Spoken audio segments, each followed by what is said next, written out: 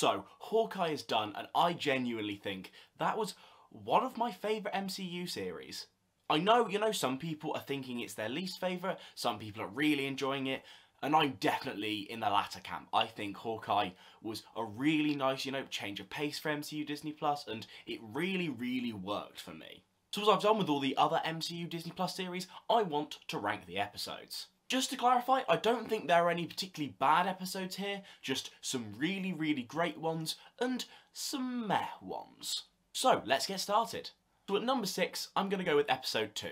So this episode was very much the um, building Hawkeye and Kate's dynamic. We had all the LARP stuff, we, you know, developed all the Bishop family drama. And that's really what a lot of this episode is, is a lot of setting up. Because the episode does a lot of work you know, set up Kate and Clint's dynamic, set up all of that Bishop family drama, and for me, it's too set-up-y. While this episode is important for the later episodes, it really doesn't do enough for me to make this interesting on its own. And some days I'm really confused about how I feel about it because with all like the LARB stuff, LARB, whatever it's called, I find it really funny and I find it really enjoyable, but it takes too long and it, it makes this episode feel quite unfocused from a story perspective. At number 5, I'm going to go with episode 1.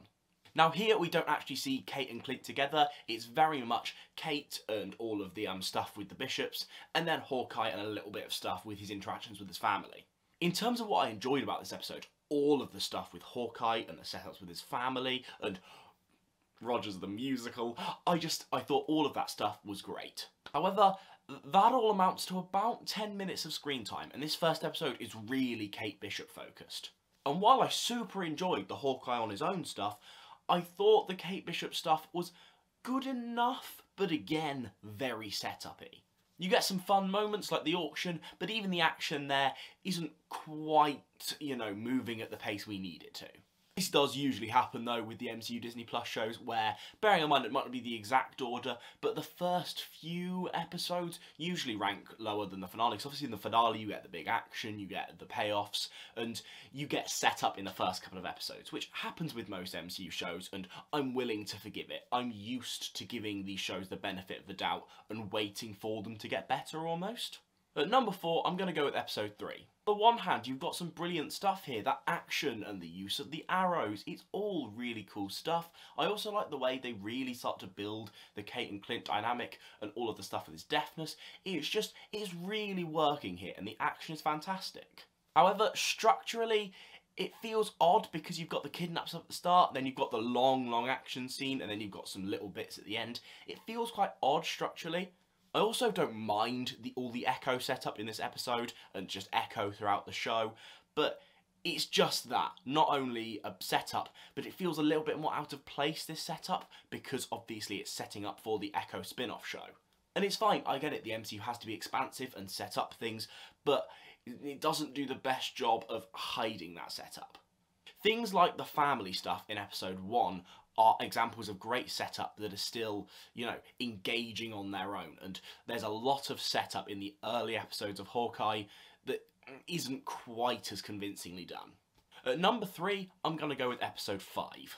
Now, overall, this this is where the series starts to get really, really good. I think all of the stuff with Yelena and Kate in this episode is absolutely fantastic. That conversation, Yelena as a character was just brilliant in Black Widow and she's just there smashing it again. Florence Pugh is genuinely one of the additions to the MCU that I think is the most exciting. And yeah, that dynamic is really, really enjoyable. I also think this episode finally bites the bullet of discussing the Ronin stuff. Because, yeah, we kind of danced about the Ronin stuff in previous episodes, but this episode really went to town on that element, and that's something that was promised about the series, and this episode delivers. Again, this is where Echo starts to become more a part of the show, instead of just being there to set up her own show. And of course, the Kingpin reveal is absolutely fantastic. Who couldn't love that reveal? So at number two, I'm going to go with episode four. This episode didn't exactly give me what I expected out of the Hawkeye show, but it was so impressive. I think the ending with the fight and, you know, the going into the flats and the Yelena reveal is really, really good, you know, climactic stuff. But a lot of the best bits about this episode are just characters sitting down and talking. genuinely that 10 minutes with kate and clint and you know all the christmas stuff and then the emotion that we get out of clint afterwards all that stuff is so effective i think that 10 minutes is better than most things we see in the show honestly i loved that little segment this episode just feels tight, it feels really explorative of our characters, the relationship building and the dynamic building is just superb and doesn't feel forced at all. Yeah, overall, I really, really liked this episode. I thought it did a fantastic job. And at number one, I am going to go with episode six, the finale. Just saying, yeah, I kind of had to pre-film that last bit, so I'm kind of adding this now. Please, please don't hate me. I think overall, as a successful finale, that was probably one of the best MCU Disney Plus show finales.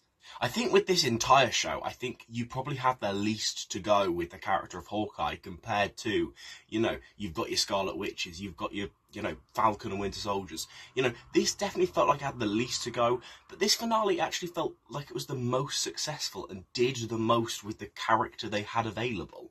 I think the action was superb. I think the resolution to a lot of our plot threads, including, you know, the Kate and Hawkeye dynamic. It was it was really fantastic. But also, if you believe they killed Kingpin at the end, you you're wrong. You are wrong. He's he's still alive. Still, great episode. Kingpin was fantastic. Everything was fantastic. It was a really good episode of Hawkeye and of any Disney Plus show. So thank you very much for coming on this journey of ranking Hawkeye episodes for me. I know it's a slight pain when I film this segment, because obviously when I'm filming this, I don't know where episode 6 is going to come, but thank you for understanding that, you know, it's just important for me to be able to get this content out as quick as possible. So overall, yeah, um, Hawkeye was really one of the best MCU shows of 2021 for me. I thought it was incredible. If you want to see me rank the Disney Plus shows so far, I'll do it. Um, if you want it, give me a like and drop a comment. You know what? As soon if one person comments it, I'll do it. And you'll get a shout out. Woo!